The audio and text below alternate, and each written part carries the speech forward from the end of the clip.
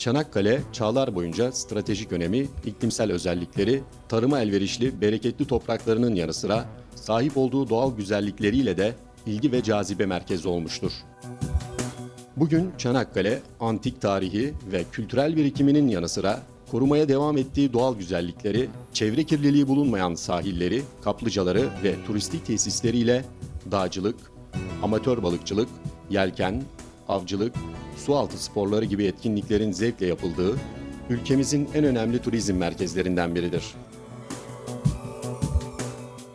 671 kilometre uzunluğunda sahil şeridine sahip bulunan Çanakkale, Troya, Assos, Alexandra Troyas, Neandria, Dardanos tümülüsü, Abidos, Krieze, Lapsakos, Sestos gibi kültür varlıkları, anıt ve şehitlikleriyle tarihi Gelibolu Yarımadası Milli Parkı, Kaz Dağı, Şahin Deresi Kanyonu, Gökçeada ve Bozcaada ile doğal zenginliklere sahip olan ve otantik özelliğini günümüze kadar koruyan değerli bir turizm alanıdır.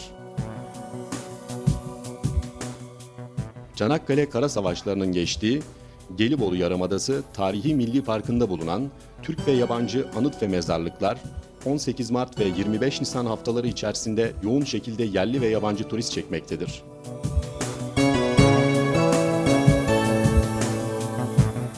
Kestanbol, Küçükkuyu, Kadırga Koyu, Geyikli Bakanlar Kurulu kararıyla 1991 yılında turizm merkezi ilan edilmiştir.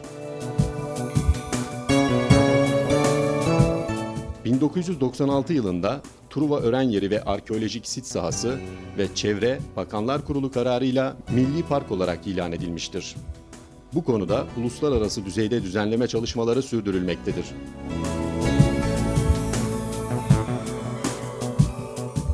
Çanakkale ili sınırları içinde 20 turizm işletme belgeli tesis hizmet vermektedir.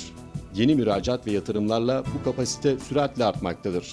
Belediye denetimindeki tesislerin yatak kapasitesi 6435'tir. Bu tesislerden otel ve yeme içme amaçlı olanlar daha çok kent merkezlerinde, motel, kamping, pansiyon gibi tesisler de sahil kesimlerde yoğunlaşmıştır.